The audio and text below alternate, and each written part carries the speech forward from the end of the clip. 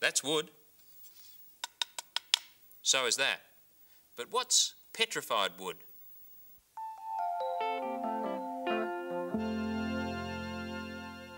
What is petrified wood? Well, petrified means turned into stone. How could wood turn into stone? Well, the story starts millions of years ago. Imagine there's a tree living, and then it dies, and it sinks into a swamp, and it's buried for thousands of years by mud. If that happens, something else may occur. Water containing silica may seep into the wood itself. Now, what's silica?